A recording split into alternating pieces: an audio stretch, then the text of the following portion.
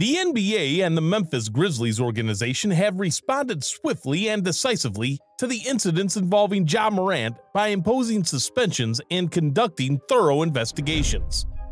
Ja Morant, the electrifying star of the Memphis Grizzlies, has once again found himself at the center of controversy, leading to his suspension from all team activities. In a shocking turn of events, Morant displayed what appeared to be a handgun in a recent social media live stream. This incident comes just over two months after he faced a similar situation when he exhibited a gun in an Instagram live video recorded at a nightclub in Denver, resulting in an eight game suspension imposed by the NBA for conduct detrimental to the league. The latest video in question depicts Morant and a friend enjoying the music of rap artist NBA Youngboy while inside a car. As the camera pans toward Morant, he is seen holding a gun next to his head before quickly diverting the camera's attention elsewhere, creating a disturbing image that has sparked outrage and concern. The Grizzlies wasted no time in announcing Morant's suspension and issued a statement indicating that the organization would refrain from making further comments at this time. NBA spokesman Mike Bass echoed these sentiments, stating that the league was aware of the social media post involving Morant and was currently gathering more information. As a result of his actions, Morant now faces the possibility of additional suspensions or fines from the league. This recent video emerges after the Grizzlies' disappointing exit from the NBA playoffs, where they fell in six games to the Los Angeles Lakers in the first round. The team, which entered the playoffs as the Western Conference's second seed, encountered a series of setbacks, including injuries to key players Steven Adams and Brandon Clarke, as well as the disruptive consequences of Morant's previous suspension in March contributed to the upset.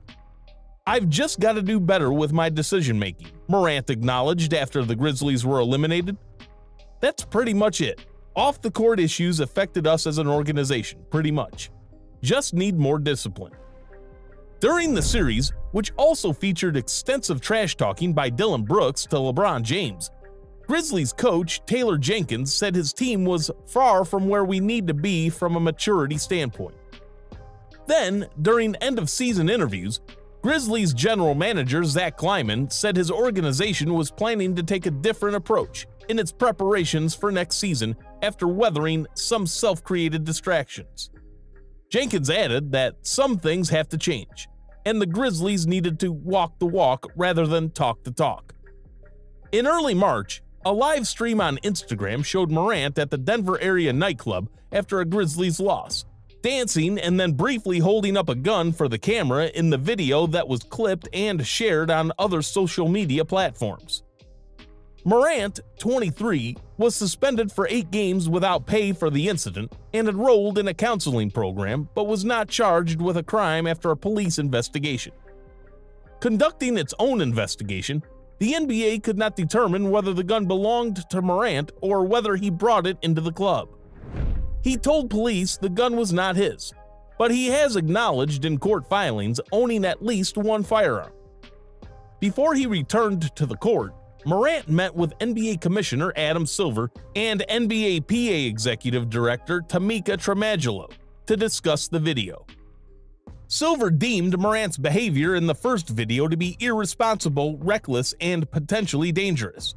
As he prepared to return from the suspension, Morant said he was in a better place mentally and committed to being a better me following a stint in a Florida counseling center. Morant sought counseling, he told reporters, to help manage his stress, and he believed his stress level had been becoming a problem before the nightclub incident. I had considered seeking help, but I was back and forth, he said. I was pretty much afraid to leave the team. I felt that it was needed, and it helped me out a lot. Before returning to the court, Morant denied having an alcohol problem said his stress management was an ongoing process, and acknowledged attending less than two weeks of counseling doesn't mean I'm completely better. Major sponsors stood by Morant after the first incident as Nike proceeded to release the first edition of his signature sneaker. However, Morant's first suspension cost him more than $668,000 in lost salary. And he missed out on approximately $39 million in additional salary because he wasn't named to an All NBA team this season. Last summer, Morant signed a designated rookie max extension worth 192.2 million over 5 years, a number that could have increased to 231.4 million, taking up 30% of the Grizzlies' salary cap. Over the life of the deal, had Morant made All NBA for a second consecutive season. Morant, who averaged 26.2 points, 5.9 rebounds, and 8.1 assists while earning his second career All Star nod, wound up getting only 10 second team votes and 14 third team votes, not enough to make any of the three All NBA teams. The first video featuring Morant showing a gun came on the heels of a Washington Post story that detailed two incidents last year in which he and his friends were accused of violent and threatening behavior, including an allegation Morant flashed a gun at a teenager after a fight at his Memphis home. In the first incident, described in a police report obtained by the Post, Morant and several friends arrived at a Memphis mall after his mother had a dispute with an employee at a Finish Line shoe store, according to the mall's security director, who described the events to the police. The dispute spilled into the parking lot, the security officer said, where someone in Morant's group pushed the officer. No arrests were made, and no one was charged with a crime. But four days later, Morant got into another altercation, this time with a teenager. Morant told police that the teenager, a local high school player, threw a ball at his head during a pickup basketball game. So he punched the boy in self defense. In transcripts of police interviews, the boy told police that after the fight, he was escorted off the property. Morant went into his home and emerged with a gun in the waistband of his pants, though he did not pull it. The teenager involved in the pickup game dispute filed a lawsuit against Morant in January, and Morant countersued the teenager for slander, assault, and battery in April. The Athletic reported this year that members of the Indiana Pacers organization believed someone riding in a car with Morant had trained a gun on them, saying they saw a laser beam pointing from the car following a game. The NBA looked into that incident and said in a statement that the investigation did not corroborate that any individual threatened others with a weapon. It is unfortunate that Ja Morant has found himself involved in multiple incidents that have raised concerns and brought negative attention. These incidents highlight the importance of making responsible choices and considering the potential consequences of one's actions, especially for public figures like professional athletes.